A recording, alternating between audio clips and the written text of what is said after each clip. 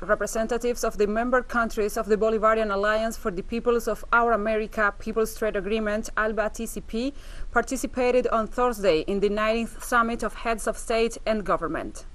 Venezuelan authorities, headed by Foreign Minister Jorge Arreaza, received the guests at the Simón Bolívar International Airport in the state of La Guaira. The summit's motto was Alliance for Life and Independence as inspiration and central topic to discuss the regional political situation and the progress of its revitalization process during 2021, facing the challenges of the post-pandemic stage.